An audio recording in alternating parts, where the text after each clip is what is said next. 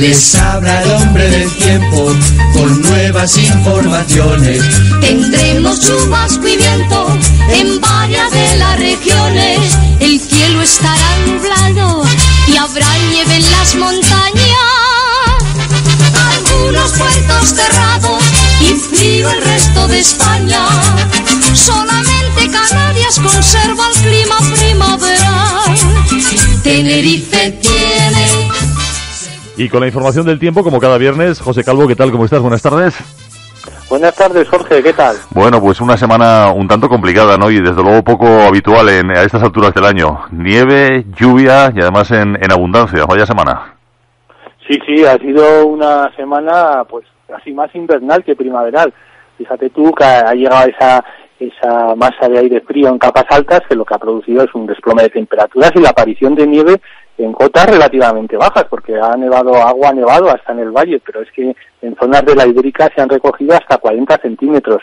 Situación, no te voy a decir que excepcional, porque nevadas en abril en La Rioja sí que se producen de, cada cierto tiempo, ¿no? Pero sí poco habitual. Hacía tiempo que no pasábamos un invierno como este y parece que la primavera es una extensión del invierno.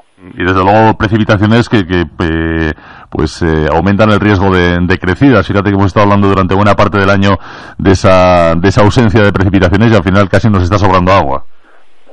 Sí, sí, la verdad es que las precipitaciones han sido muy abundantes. En el valle pues habrán estado entre 20 y 40 litros, en la Ibérica entre 40 y 80 litros según zonas y lo dicho, como además eh, ha sido en forma de nieve, hay mucha nieve acumulada, el, el terreno ya está muy empapado y las temperaturas quieras que no al mediodía ya se empiezan a recuperar, ya empezamos a tener, eh, no te voy a decir calor, calor de primavera, pero sí que son eh, temperaturas más altas que favorecen el deshielo y en consecuencia pues las crecidas de, de los ríos son bastante, bastante grandes, la crecida del Ebro que es importante la punta yo creo que ha sido ya, la punta que pasa por Logroño y en Castejón pues será a lo largo del día pero sí, sí, la verdad es que las imágenes impresionan ver todos esos terrenos inundados, sí. Ah.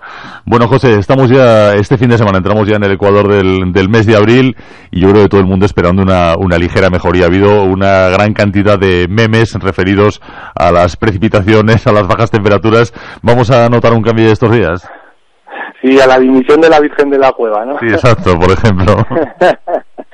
Sí, sí. Bueno, el tiempo va, va, a tender a mejorar. No es, va a ser una mejoría espectacular porque a lo largo del día hoy viernes todavía se mantiene el ambiente revuelto. Estamos bajo la influencia de una borrasca en el suroeste que sigue enviando frentes y deja cielos nubosos, todavía precipitaciones no tan abundantes como han sido hasta ahora.